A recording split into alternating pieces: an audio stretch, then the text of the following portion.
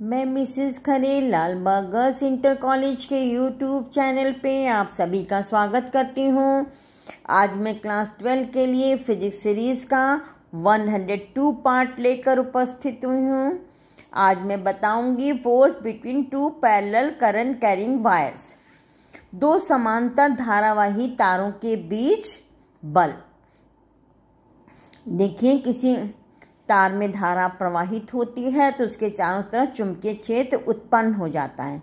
इस चुंबकीय क्षेत्र में कोई दूसरा धारावाही तार रख दें तो उस पर एक बल लगता है और ये बल की दिशा जो है फ्लैमिस लेफ़्ट हैंड रूल के अनुसार होती है।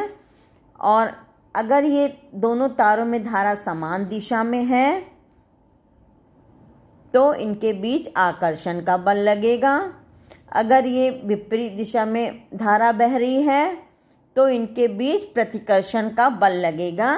अब आकर्षण प्रतिकर्षण का बल हम आपको दिशा के नियम से समझाएँगे और बल का मान बताएँगे।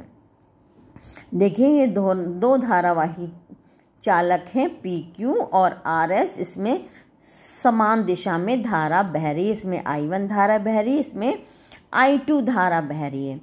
पी क्यू में आई वन धारा बहने के कारण इससे आर दूरी पे दूसरा तार है। इस पर चुंबकीय क्षेत्र का मान ये हम निकाल चुके हैं अनंत लंबाई के के तार में आई धारा बहने के कारण उससे आर दूरी पर चुंबकीय क्षेत्र। ठीक है, इसका मान हम निकाल चुके हैं।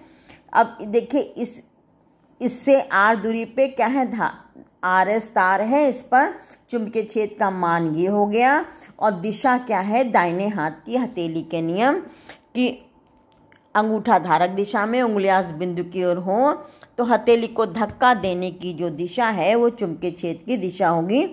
ये नियम के अनुसार ये चुंबकीय क्षेत्र की दिशा कागज़ के पेन के परपेंडिकुलर नीचे की तरफ़ होगी, ठीक है? ये क्रॉस बनाया है। अब इस पर चुंबकीय क्षेत्र की दिशा जो है, वो नीचे की तरफ़ है। अब इस चुंबकीय क्षेत्र में,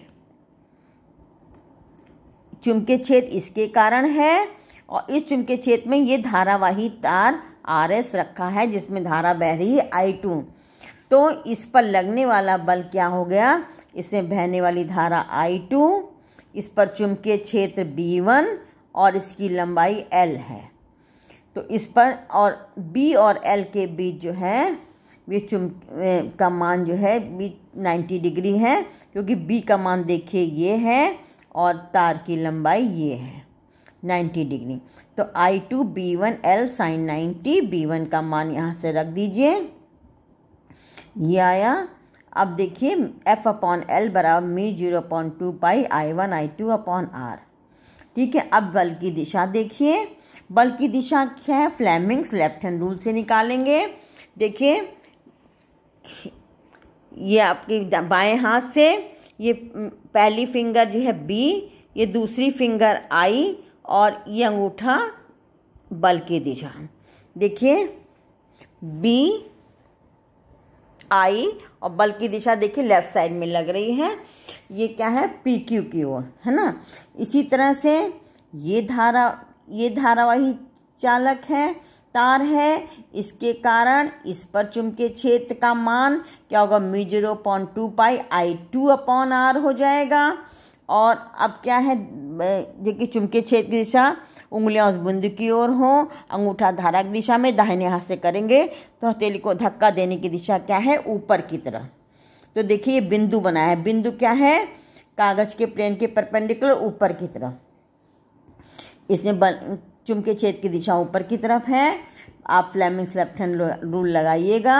अपने हाथ को उस तरह से मोड़िएगा कि आपकी जो पहली फिंगर है वो चुमके छेद की दिशा में हो ऊपर की तरफ़ और दूसरी मिडिल फिंगर जो है वो धारक दिशा में हो तो अंगूठा बल की दिशा को शो करेगा। ये देखिए इधर की तरफ़ लगेगा, ठीक है? तो ये बल का मान भी यही आ जाएगा, ये आ जाएगा। तो दोनों पर ये बल एफ़ अपॉन एल जो है बल, एकांक लंबाई पे जो बल है, वो इस पर भी है इतना ही, और इस पर भी इतना ही एफ़ बल ये भी है और ये भी है। और क्या आकर्षण का बल लग रहा है, ठीक है? इसी तरह से अगर जो है धारक दिशा विपरीत है, देखिए तो इसके कारण हमने चुंबकीय क्षेत्र की दिशा बताई थी। अब देखिए, बल लगाना है तो क्या होगा?